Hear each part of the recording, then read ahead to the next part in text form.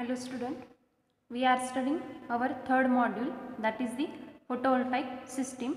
And uh, in our previous videos we have covered all the theoretical part of this chapter. And uh, in this video we have to see the problems which are based on the solar characteristics or photovoltaic characteristics. And uh, these characteristics are the efficiency of solar cell, the fill factor of the solar cell and the maximum power of the or the maximum power which can be obtained from the solar cell. These all are the different parameters and uh, we have to see the problems which are based on these characteristics. So let's start with that. So first problem is the Calculate the fill factor of solar cell using following data. We have VOC that is open circuit voltage and which is the 600 millivolt. After that there is a ISC that is a short circuit current and which is the 60 milliampere and VM which is the maximum voltage and which is equal to 500 millivolt and Im is equal to 40 milliampere. Im is the maximum current which can be obtained from the solar cell. So let's start from the solution. So the solution of the problem is first we write the given quantities that is given we have the VOC that is open circuit voltage which is the 600 millivolt ISC short circuit current 60 milliampere VM is the maximum voltage which is the 500 millivolt and IM is the maximum current which is the 40 milliampere and we have to calculate the fill factor from this given data. So we know that we have covered the characteristics of the solar cell and in that we define the fill factor and uh, the fill factor is the ratio of the two powers that is the maximum power which can be obtained from the solar cell to the ideal power of the solar cell. So the fill factor is given by fill factor is equal to Vm into Im divided by VOC into ISC where Vm is the maximum voltage, Im is the maximum current. So the product of these two quantities that is the maximum voltage and maximum current is the maximum power and after that there is a the ideal power which can be obtained from the solar cell. So this is the VOC into ISC. So the fill factor is the ratio of these two powers. So we have the different values. So after substituting these values in this equation or in this formula, so we will get the value of the fill factor. So fill factor is equal to Vm. Vm is the 40 milliampere. So 40 into 500 milliampere millivolt divided by 600 millivolt into 60 milliampere. So this is the fill factor. Now after substituting this value we get this term and here there is a millivolt here also milliampere sorry. Here is also milliampere. So milliampere and milliampere get cancelled here is a millivolt and millivolt millivolt millivolt get cancelled with each other and we get the value of the fill factor. After doing calculation we have 4 into 5 divided by 6 into 6 which is equal to 20 divided by 36 and after that we get the value of fill factor and which is the 0.55 and fill factor is a unitless quantity because it is a ratio of two similar quantities. So the fill factor is nearly equal to 0.6 so we have the value of fill factor from this calculation or from the given data. So this is the value of fill factor which is the 0.6 now the second problem is calculate the efficiency of solar cell using the following data. We have VOC which is equal to 400 millivolt, ISC which is equal to 40 milliampere, fill factor is the 0.7, input power of the so solar cell is 6 into 10 to the power minus 2 watt. these all are the given quantities and from that we have to calculate the efficiency of the solar cell. So first we write the given quantities that is a VOC which is the open circuit voltage and which is the 400 millivolt. After that there is a ISC and which is the short circuit current and the value of short circuit current is a 40 milliampere. Fill factor which is equal to 0.7 and also we have the input power that is P in which is equal to 6 into 10 to the power minus 2 watt and from these quantities we have to calculate the value of efficiency.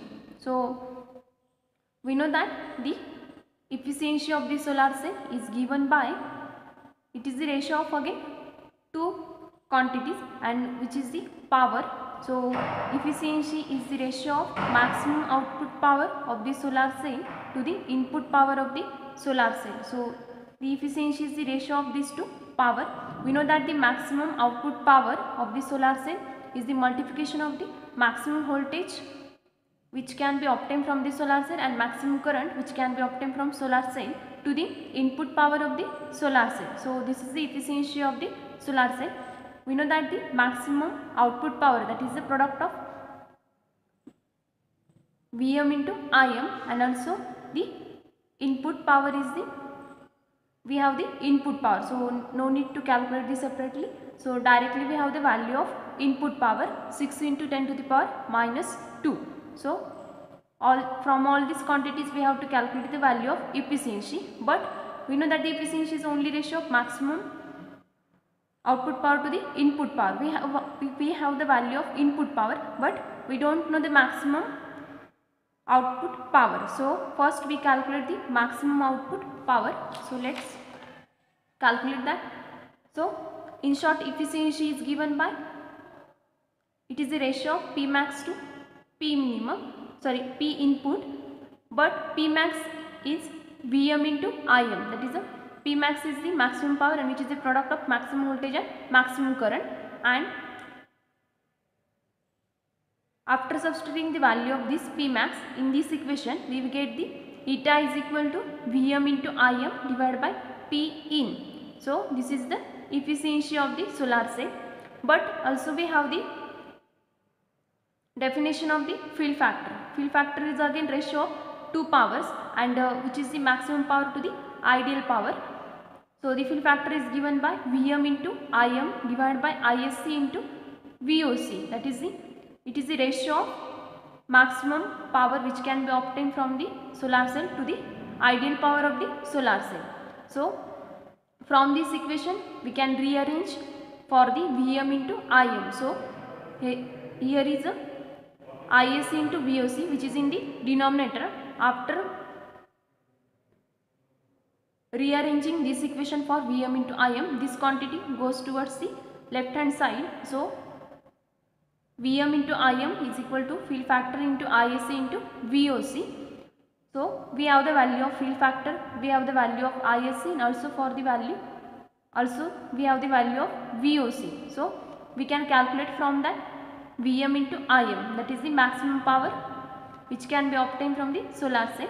So, we have the value of fill factor which is the 0.7, ISC is the 40 milliampere, VOC is a 400 milliampere and after substituting these values and after doing calculation we get the value of Vm into Im.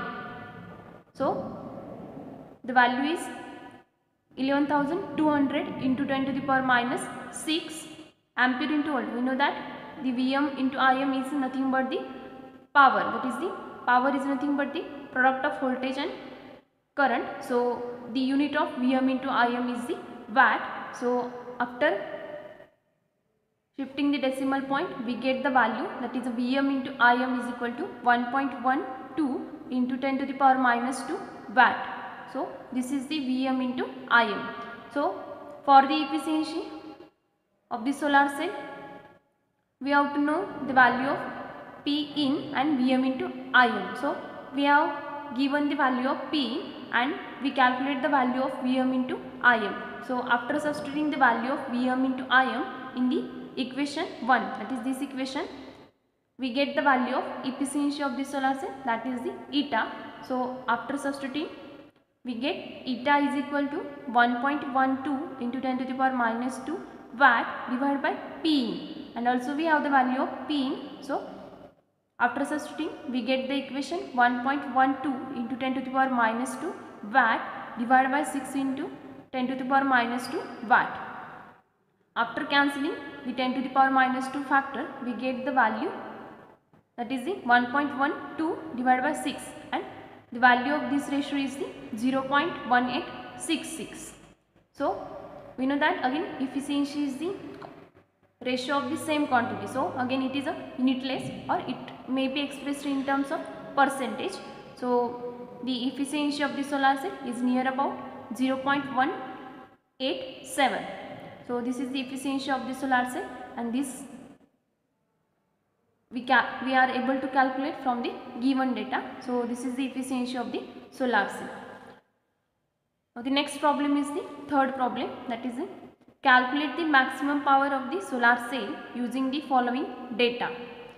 We have the ISC is equal to 80 milliampere, VOC is equal to 400 millivolt and fill factor is equal to 0.7.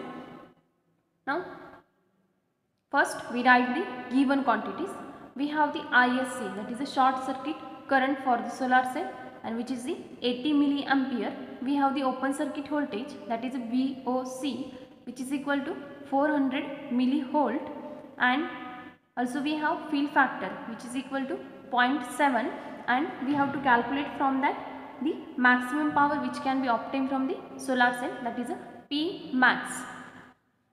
So we know that the formula for the P max that is a, the maximum power which can be obtained from the solar cell is nothing but the product of three quantities that is a short circuit current, open circuit voltage and fill factor.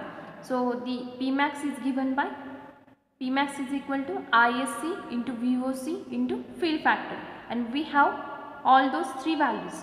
So Pmax is equal to 18 milliampere into 400 millivolt into 0.7 so after doing calculation of all these quantities, we get the value that is 22,400 into 10 to the power minus 6 watt. Pmax is again maximum power. So the unit of the Pmax is the watt and uh, after shifting the decimal point we get the value of Pmax which is equal to 2.24 into 10 to the power minus 2 watt. So this is the maximum power of the solar cell from the given data that is we have short circuit current open circuit voltage and fill factor from that we have from that we calculated the value of P max that is the maximum power and which is the 2.24 into 10 to the power minus 2 watt. So all those three problems are based on the solar characteristics. So in this way there is a possibility of asking the problems on these characteristics of the solar cell. So this is these all are these all are the some basic problems which are based on the solar characteristics but very important problems. So we have covered all the theoretical parts of the chapter third that is the photovoltaic systems and also we have covered the problem based on the photovoltaic system particularly on the characteristics of the characteristics of the solar cell. Now in our next video we will start with the new chapter that is the next chapter. So we will continue with that in that video.